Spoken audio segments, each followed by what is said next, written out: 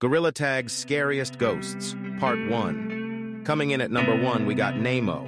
Nemo is a Gorilla Tag ghost slash bot. Nemo is such a strange ghost. He doesn't move like any ordinary Gorilla Tag player. He is like an AI. He slides along the floor and has his own arms up in the air. If you ever see Nemo in Gorilla Tag, you should leave the code as soon as possible.